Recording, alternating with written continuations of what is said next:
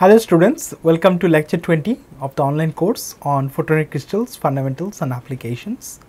Today's lecture will be on point defects in periodic dielectric waveguides and the quality factors of the lossy cavities.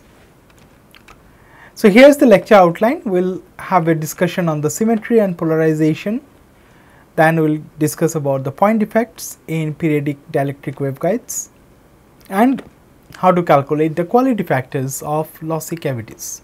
So, let us focus on the first topic of the day that symmetry and polarization. So, if you think about the distinction between polarization in two dimensional structures okay, that we discussed in lecture 13.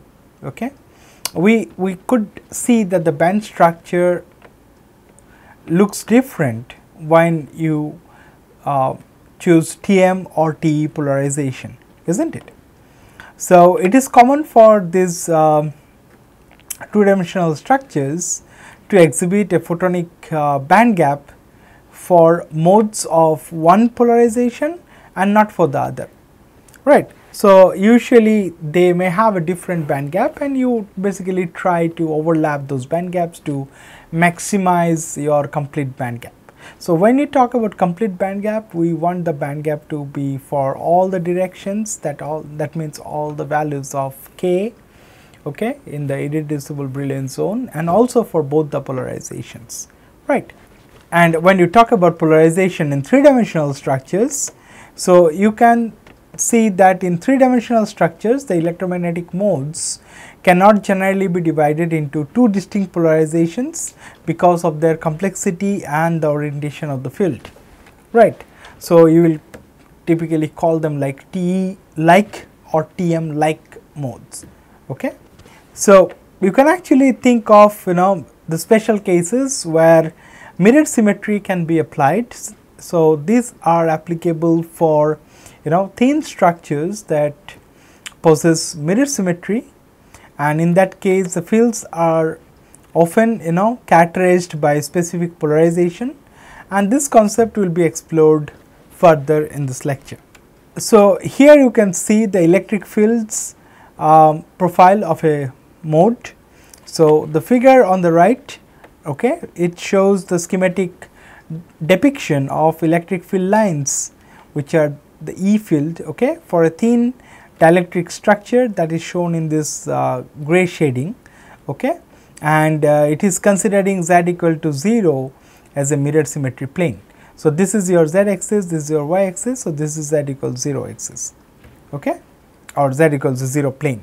So, the modes that are even with respect to this mirror plane okay, so they are considered to be TE like okay. So, as you can see that uh, the electric field is mostly parallel to the mirror plane okay, and they are exactly parallel in the case when uh, it is z equals 0 okay. And uh, for the odd modes which are shown here, so these are like even modes or like T like modes okay. You can also think of the odd modes which are more like TM so, there the electric field is almost perpendicular to this uh, mirror symmetry plane that is z equals 0, okay. but then it is exactly perpendicular at z equals 0, is not it.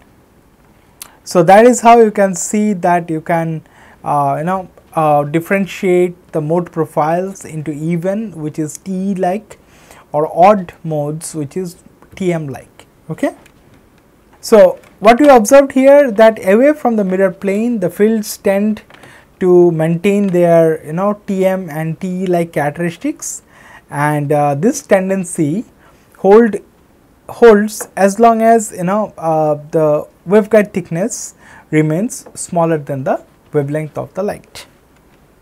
Now, we can further classify you know uh, the most polarized states. So, we have seen that you know most T like states are those uh, which are even with respect to z symmetry okay or z equals 0 plane and uh, odd with respect to uh, y okay that is like you know y equals 0 hmm. so those can be uh, called as e odd n kind of states.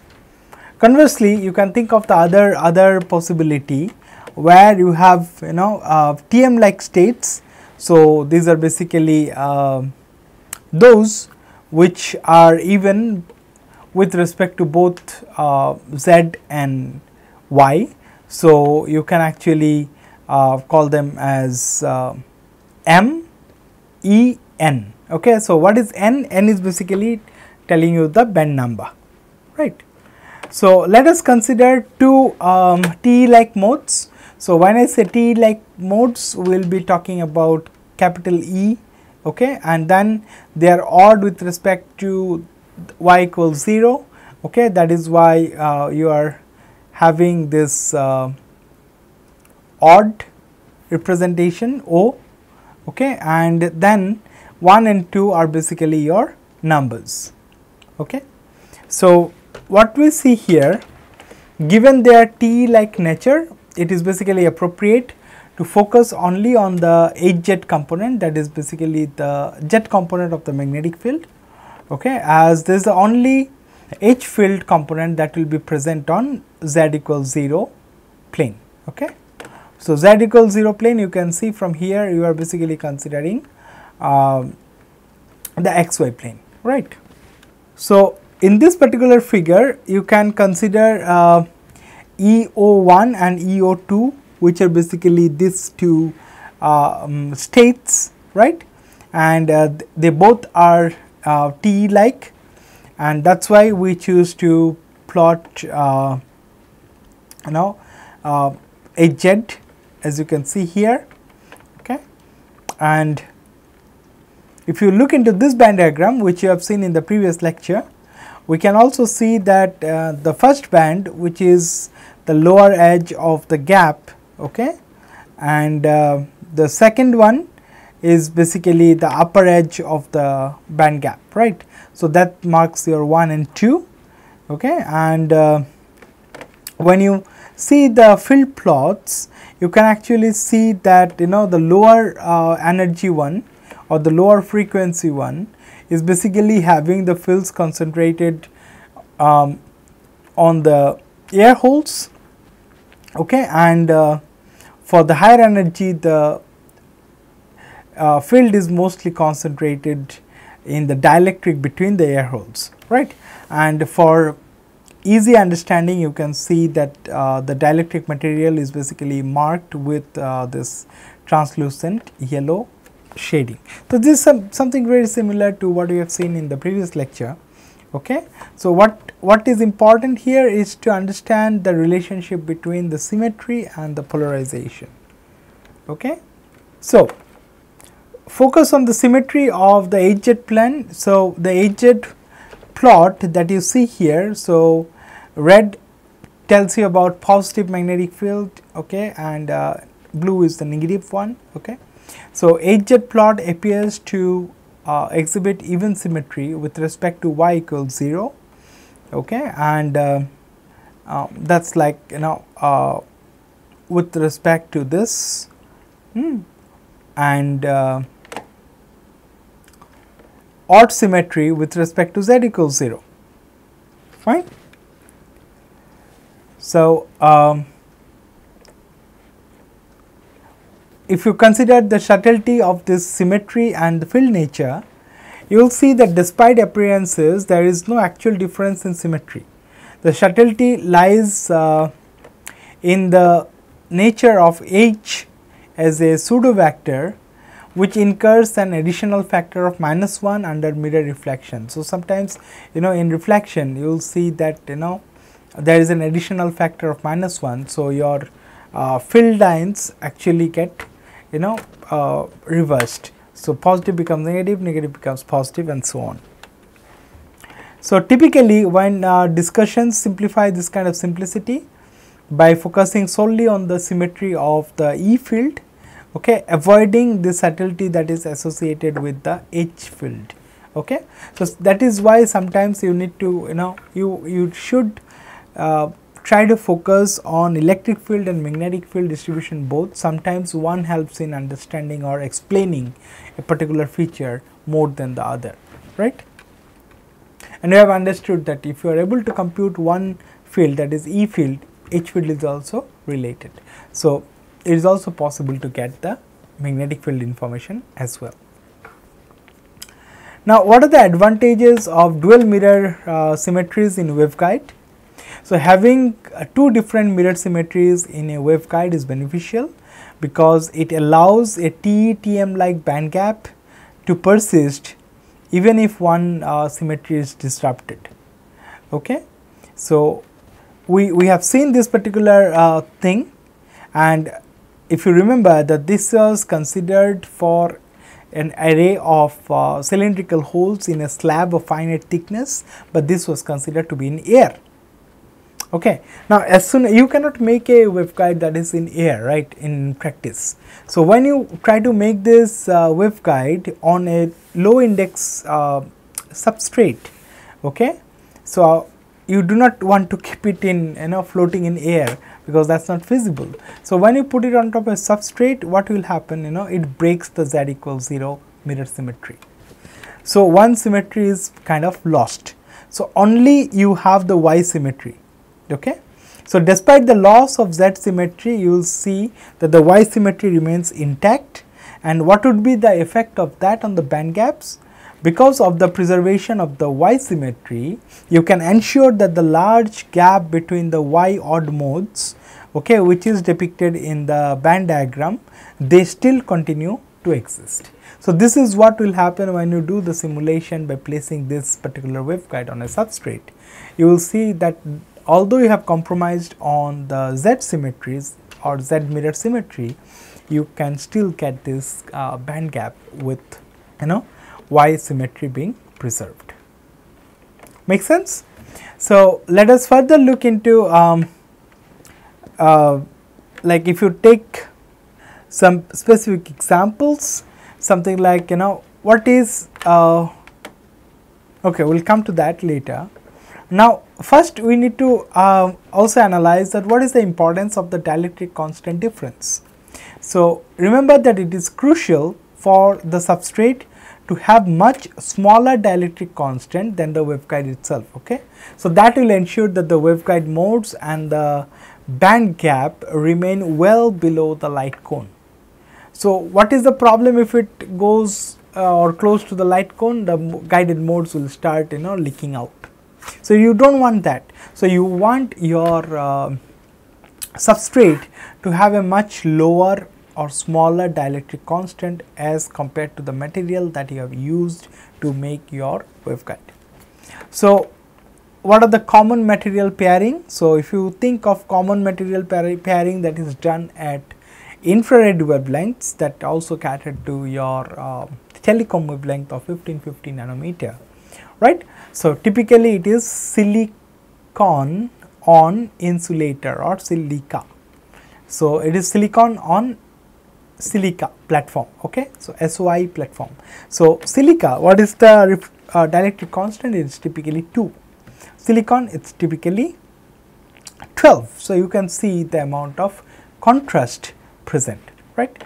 So what is the role of the substrate here the substrate basically lowers the frequency of both light cone and the guided modes and you know that happens because the modes slightly penetrate into the substrate so, what are the additional effects of the substrate? The substrate also influences point defects and we will take this discussion in more details in the next section. Okay? So, what we understood from this discussion on symmetry and polarization? So, we understood that for thin structures with mirror symmetry such as those shown in this figure which are the examples of periodic dielectric waveguides okay, which uh, combine one dimensional periodicity in x and typically they have uh, index guiding helping them in the two other orthogonal directions right. So, the modes in this kind of waveguides can be classified as TE like or TM like okay. Then in two dimension the favorable geometry for TM band gaps as we have seen are basically the dielectric spots in air and uh, sorry dielectric spots like this okay and uh, for T it was basically air holes in dielectric. So, this, this kind of structure basically gives you uh, T band gap and this kind of structure that is uh, dielectric spots in air typically give you TM band gap, right. So, you can actually try to combine this structure as we have seen earlier to get both T and TM um, band gap overlapped and you can get complete band gap for the structure that you want to make, right. So, here you can see that structure A and uh, C, okay, they basically uh, favor T like gaps and the one in the middle, this one, it, it favors uh, TM like gaps. Let us now move on to the next topic which is point defects in uh, periodic dielectric waveguides. We will analyze this in more uh, details. So, one respect in which periodic dielectric waveguides differ from the systems considered in the previous lectures is that the defect states are not perfectly localized. Okay? So, periodic dielectric waveguides uh, in, in those if you want to um, create point defects. So, what are the methods? So, the various methods exist okay, and uh, one easy way if you consider the structure in this uh, case A would be to alter the radius of the hole within uh, the waveguide structure or another way would be to you know alter the spacing.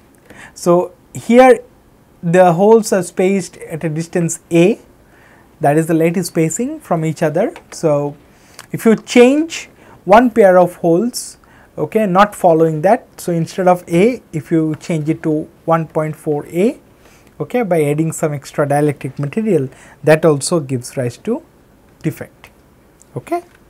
So, this you can do. So, you can actually increase the hole spacing and because of that what will happen you know it pulls down a mode from the upper EO2 band into the band gap okay and that is how it creates a defect state. So, you can actually look that in in simulation okay and uh, here this shows uh, z equals 0 plane this is y equals 0 plane okay or uh, this actually tells you that this particular one is the one where you know the defect is created. Okay. So, what is the state of this uh, waveguide? It is basically suspended in air. So, we, we take the simplified structure for simulation purpose. So, only difference here is that the spacing between one pair of holes have been increased from A to 1.4 A. So, because of that strong localization okay, um, and exponential decay of field can be seen inside uh, the waveguide okay and uh, you can also see here that the field decays only inversely with distance in the lateral dimensions so they quickly you know diminishes okay and uh, if you look from x equals 0 plane okay you will be able to see that you know exactly at that particular point defect um, the field is trying to you know leak out through radiative leakage okay and uh, this saturated color scheme has been used here to exaggerate the small field values for better visualization okay so the resulting defect state is basically a TE type and its frequency is uh, basically shown in the left panel okay of figure 6 that you can see here okay and uh, the frequency of this uh, defect state is basically um, omega naught which is 0.308 times 2 pi c by a so you can find out the exact frequency if you know what is the lattice spacing. Now, unlike the defect states in the previous chapter, here uh, you can see that the band gap is uh, incomplete. That means, you know light cone modes uh, exist for any frequency okay? So the band gap is only for a specific uh, range isn't it you can go back and quickly have a look at the band diagram. So that we are referring to here yeah. So you can see the light cone modes basically exist for all frequencies and the this is only for certain uh, you know frequency and also for a specific direction this part works right? And you basically have uh, pulled down this mode okay? So this is the mode which is above the band gap but something has been pulled down and within the gap you have localized that particular mode into the defect state. Okay? So what is the nature of the defect state? The defect state is basically a leaky mode or uh, resonance due to incomplete band gap and it forms a resonant cavity at the point you know of defect. So, introduction of the defect basically breaks the translational symmetry and that would lead to non conservation of the wave vector k. So, if you have a closer look okay, at the defect you can understand that you know the main loss here is the radiative loss right. So, the defect mode can couple with the light mode that share the same frequency omega yeah because it has there are uh, light modes uh, existing at those uh, frequencies. So, that way they can you know leak out easily through radiation. So, that is the intrinsic radiative loss. Now, you can visualize this you know outward radiating wave by using this kind of color scheme which is a saturated color scheme which are used to you know emphasize small amplitude waves which are leaking out from this uh, defect. So, the main disadvantage of uh, the incomplete band gap system is that you know the intrinsic radiative loss of point defect remains as a significant drawback here as, as compared to complete photonic band gap. In complete photonic band gap, what happens for those bands no um, you know light modes exist. That means you know there won't be any uh, radiative loss. But here there are radiative losses okay? So there are challenges presented by this radiative loss. Something like you know the first thing is the quantification of the loss. So it is very important to accurately measure the extent of loss and that needs to be elaborated and also the tolerance assessment for application. So, that means you know how do you determine that how much loss can be tolerated for some specific application okay and that is very important and we will go into the details of that towards the end of this course okay so right now we just uh, keep this in mind that you know tolerance assessment for point defects okay in this kind of periodic uh, dielectric waveguides which are popularly used is very important.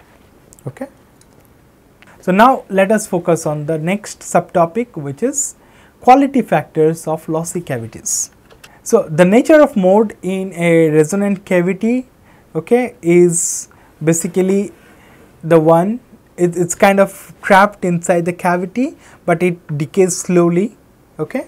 So because it decays you can think of a mode which has got a complex frequency.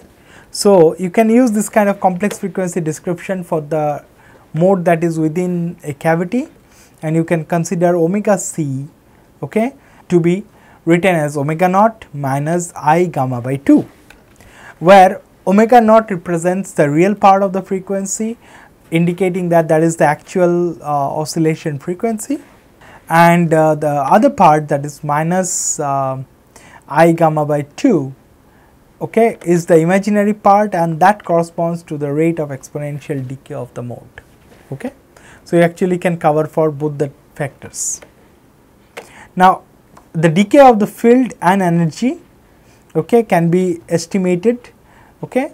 So, you can think that the field within the cavity decays according to e to the power minus gamma t by 2 leading to the energy within the cavity to decay as you know field is decaying like this, so the energy will be like square of it, so it, it is minus gamma t, right.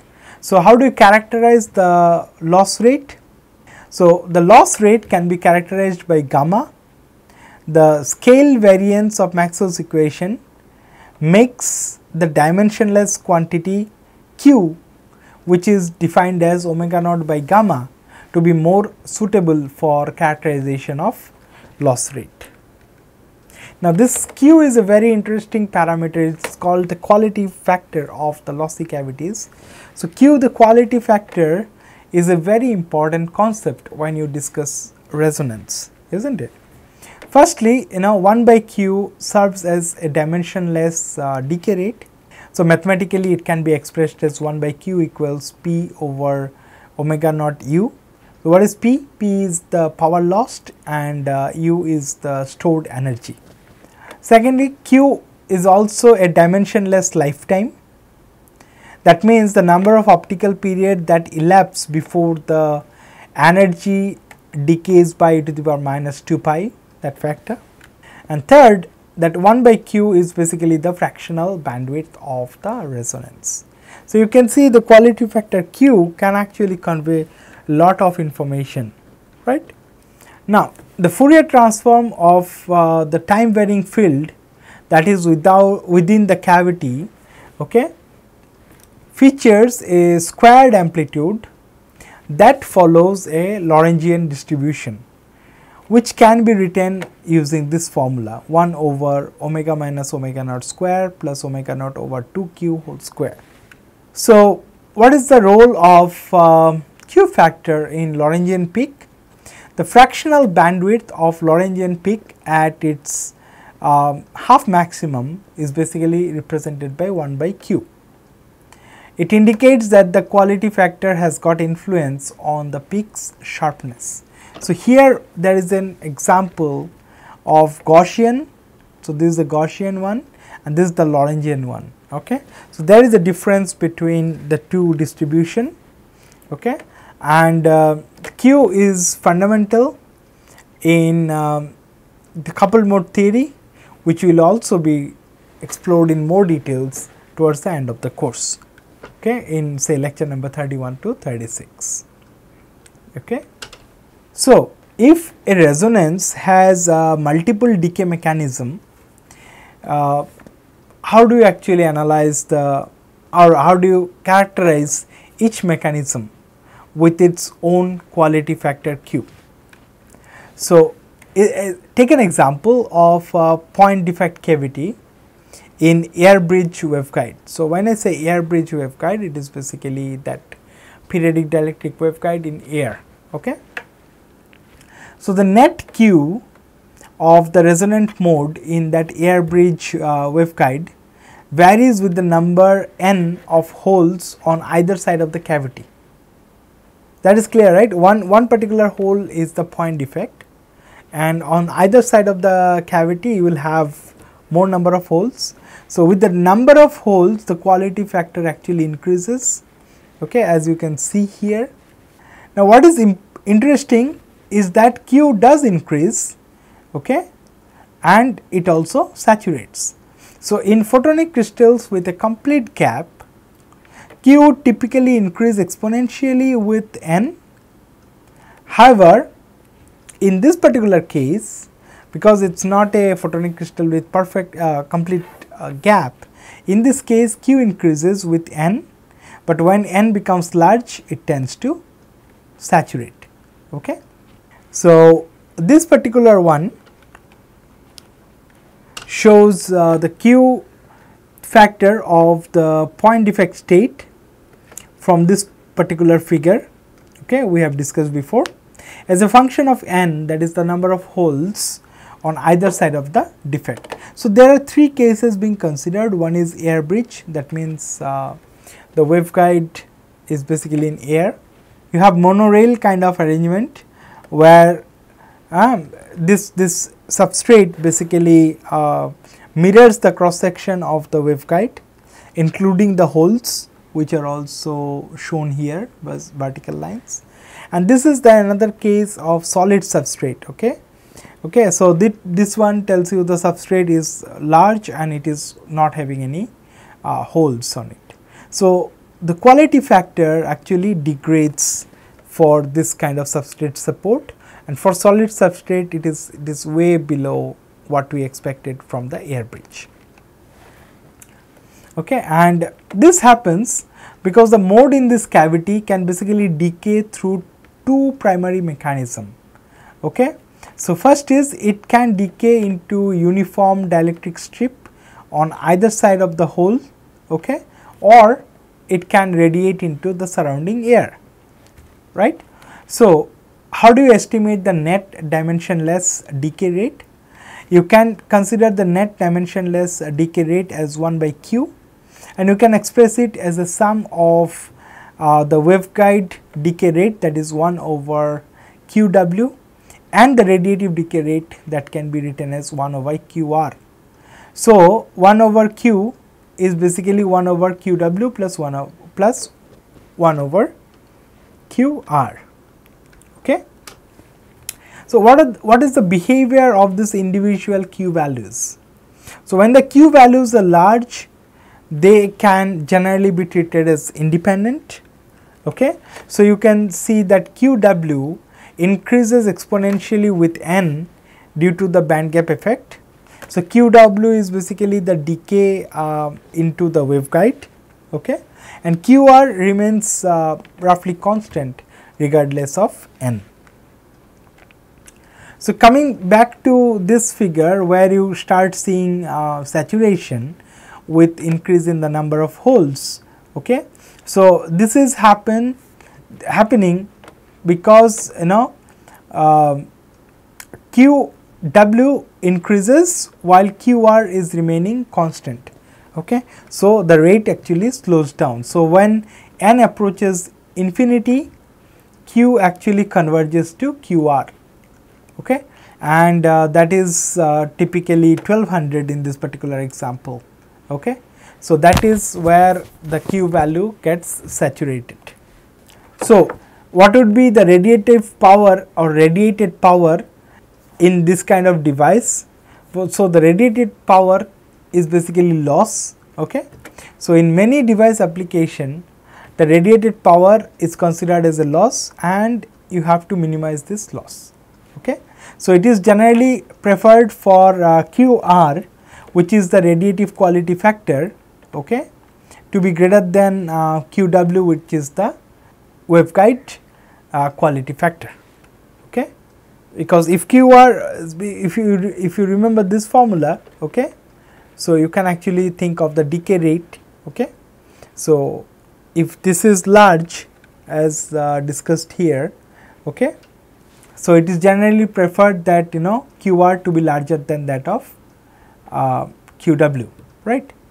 So, here you can also see the effect of substrate that the black and the red lines will show you how quality factor varies with n that is the number of holes on either side of the cavity and only thing that is changing here is the two substrate. So, one is a identical substrate of the pattern that you have made here that is called a monorail substrate and the other one is a solid substrate. So, in both cases what uh, the material has been used is same. So, the waveguide is made of uh, material which is a dielectric constant of 12, but the substrate in both case have uh, permittivity of 2.25. Okay. So, only difference is that, that this, this thing is a monorail substrate which basically mirrors the cross section of the waveguide itself. So, the substrate also has a hole drilled in it. Okay. However, this is a you know, solid substrate without any holes. So, in both um, substrate scenarios, the band gap is maintained due to the preservation of y equals 0 mirror plane and that supports the symmetry and the polarization properties that we have discussed today in the lecture. And the last thing is that what is the impact of substrate on radiative lifetime that is QR. So, you can see that uh, you know the substrate blocks one part okay it breaks the z equals 0 plane symmetry. So, the presence of substrate tends to decrease the radiative quality factor that is QR and this corresponds to a reduction in the radiative lifetime. So, the localized mode that you see in the crystal can be approximated by a decaying exponential multiplied by an e to the power i pi x by a oscillation as we have understood and learned from the earlier discussions on the evanescent modes uh, in photonic band gap. So, finally, we can conclude by comparing the two substrate is that the monorail type of substrate which consists mainly of air has a weaker effect on the light cone as compared to the solid substrate. So, with this you can actually get the features very close to the air bridge kind of structure that you have used for your simulation for simplification. Okay. So, monorail substrate basically reduces the QR okay, by approximately 30 percent that is also quite. So, from 1200 it will come down to say uh, 900 or something. Okay. But if you use the solid substrate like this, okay, QR the quality factor radiative quality factor um, comes down by almost by a factor of 10. That means you have significant you know impact on the radiative loss because of this solid substrate. Okay. So, thank you all. So, that will be all for this particular lecture on point defect in uh, periodic dielectric waveguides and analysis of quality factors for lossy cavities.